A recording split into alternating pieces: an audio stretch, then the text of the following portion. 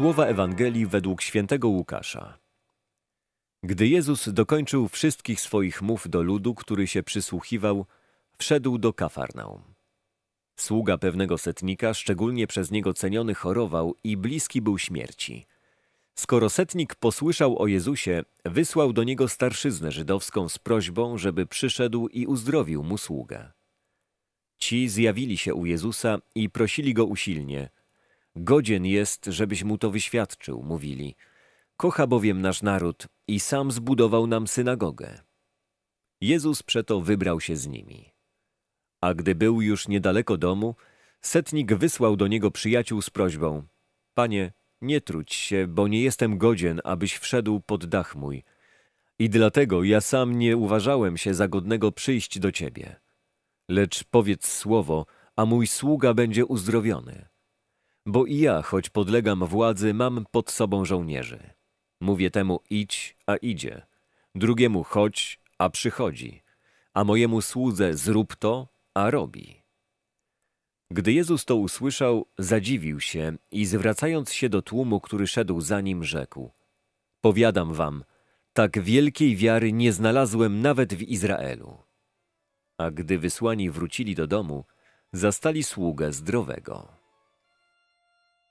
Dzisiaj Jezus daje nam za wzór wiarę rzymskiego żołnierza. Posiadając własne doświadczenie jako dowódca stuosobowego oddziału, wie, że ten, kto ma władzę, wydaje rozkazy i polecenia, a inni je wypełniają. Setnik jest przekonany, że Jezus posiada taką władzę i że ta władza Jezusa jest większa od jego własnej. Dlatego uznaje się za niegodnego, aby przyjąć Chrystusa do swojego domu. Wystarczy, że Jezus powie słowo, wyda rozkaz, a choroba się cofnie i śmierć odejdzie z jego domu. Setnik uznaje i wyznaje, że Jezus jest Panem i Bogiem.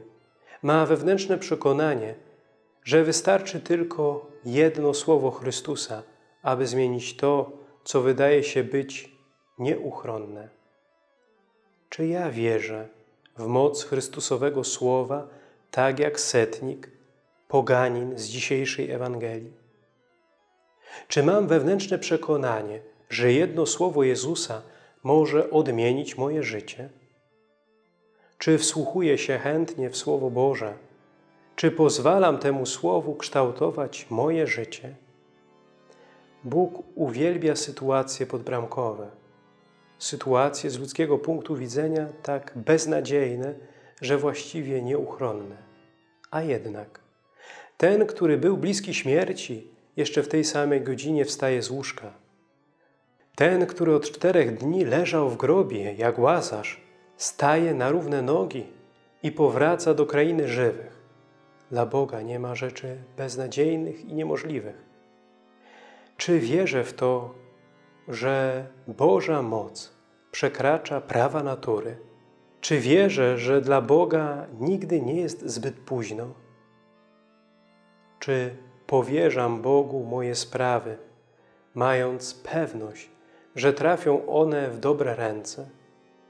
Dobry Bóg, który uzdrowił sługę setnika i który mieszka w nas, niech przymnoży nam wiary w swoją wszechmoc i opatrzność nad nami.